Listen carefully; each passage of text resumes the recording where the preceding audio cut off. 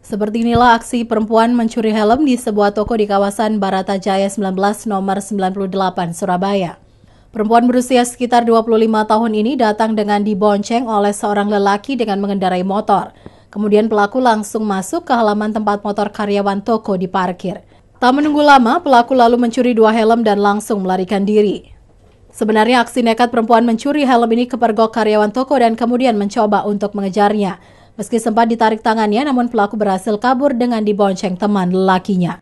Dwi Darmanto, karyawan toko yang memergoki aksi pelaku mengatakan awalnya dia mengira pelaku adalah tamu toko. Namun saat mengetahui mengambil helm, dia langsung mengejarnya.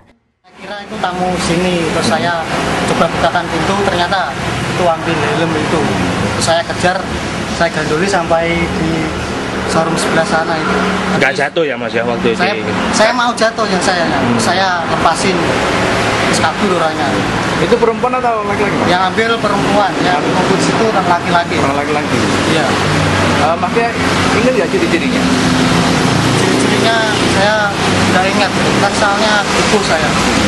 Panik mas ya? Pakai motor Panik. apa mas? Motornya Jupiter MX. warna hitam merah kalau nggak salah.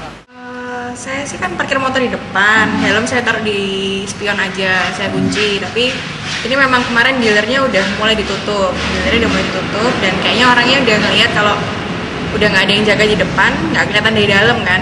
Jadi mungkin dia udah tahu keadaannya, udah mulai diambil pelan-pelan aja gitu, terus dikejar. Meski terekam kamera CCTV, aksi pencurian helm yang dilakukan perempuan ini tidak dilaporkan ke aparat kepolisian. Korban tidak melaporkan kejadian ini ke pihak berwajib karena tidak ingin memperpanjang kasus ini. Korban mengaku telah mengikhlaskan helmnya dicuri perempuan tersebut.